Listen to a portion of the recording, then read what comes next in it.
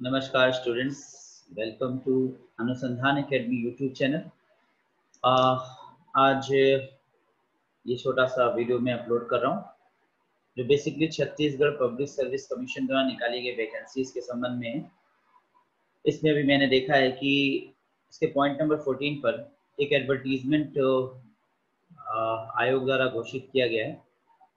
और वो एडवर्टीजमेंट है छत्तीसगढ़ लोक सेवा आयोग रायपुर द्वारा। एक पुराना विज्ञापन है, विज्ञापन फरवरी 2019 का है, जिसमें अंतिम तिथि तो संभवतः 2019 में ही थी, लेकिन परीक्षाएँ या उस समय किसी कारणों की वजह से ये पूरी तरीके से भर्ती नहीं हो पाई। इसलिए से पुनः निकाला गया है। सहायक अध्यापक का पद है, उच्च शिक्षा विभाग के द्वारा और सीधी भर्ती है। और इसकी अंतिम तिथि 18 सितंबर है। यानी कि अभी ऑनलाइन परीक्षा भर सकते हैं 18 सितंबर तक अंतिम तिथि है। आप इसमें देख सकते हैं इसकी कुल वैकेंसीज की जो संख्या है, वो तेरह सौ चौरासी ही है और सीधी भर्ती है और यूजीसी द्वारा है। ज़ाहिर सी बात है, तेरह सौ चौरासी वैकेंसीज अच्छी खासी पदें होती हैं। कई विषयों में पद निकाले गए हैं। आपके स्क्रीन पे हैं।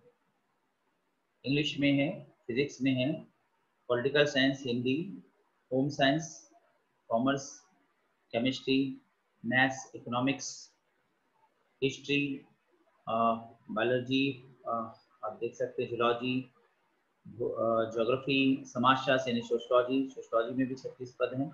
इस तरह से कुल मिलाकर के इसमें सत्ताईस पद हैं, जिनमें सत्ताईस विषय हैं, जिनमें कुल मिला के तेरह सौ चौरासी वैकेंसीज निकाली गई हैं।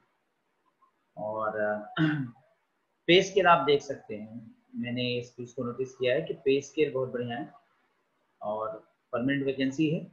पंद्रह हज़ार छः सौ से उनतालीस हज़ार एक सौ ए जी पी छः हज़ार, यानी अप्रॉक्सीमेट लिमिट सत्तावन हज़ार सात सौ, यानी एक प्रकार से सिक्सटी थाउज़ेंड के अप्रॉक्सीमेट ये यूजीसी रैंक असिस्टेंट प्रोफेसर और इसके संबंध में जो अहर्ताएँ हैं, वो मैं पढ़ दे रहा हूँ। बेसिक है, पचपन प्रतिशत के साथ पीजी होना अनिवार्य है। तो आपके एमए में पचपन परसेंट होना चाहिए। दूसरी बात नेट क्वालिफाइड अगर आप हैं तो आप अप्लाई कर सकते हैं।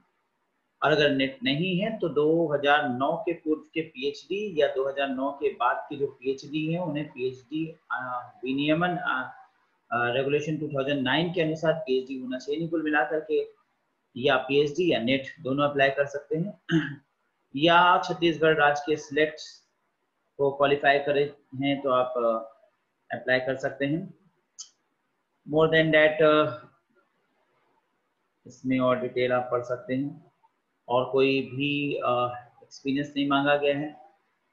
पेपर दो होगा, एक जनरल पेपर पचास क्वेश्चन का और एक सब्जेक्ट का सौ क्वेश्चन का।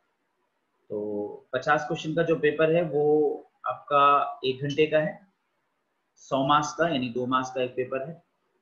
और सौ क्वेश्चन का जो पेपर है, वो दो घंटे का है। यानी वो भी आपका दो मार्क्स का एक पेपर है। जैसी बात है सब्जेक्ट की जो पेपर है, वो सरल है इजी है। और जीएस का आपका समान अध्ययन है तो समान अध्ययन हमेशा राज्य ये जिस प्रदेश का होता है उस पर ज़्यादा पूछा जाता है तो छत्तीसगढ़ राज्य का समान अध्ययन थोड़ा तैयारी करना होगा। एज ग्रुप तीस साल मांगी गई। ये थोड़ा सा और ज़रूर लगता है। अदर स्टेट्स के लिए तीस साल है। और आप अपने राज्य के, यानी अगर छत्तीसगढ़ के हैं तो आप पैंतीस साल हैं। थोड़ा सा यही एक और लगता है। बट ये नियमन बना दिया गया है तो उसमें कोई कुछ कर नहीं सकता।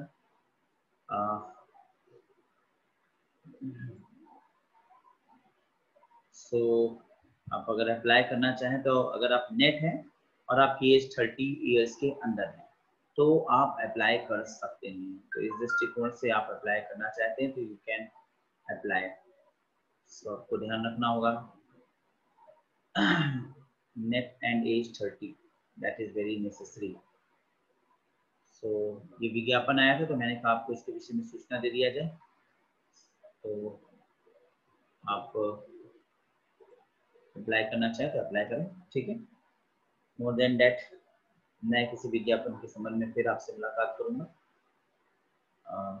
वीडियो यहीं एंड कर दे रहा हूँ।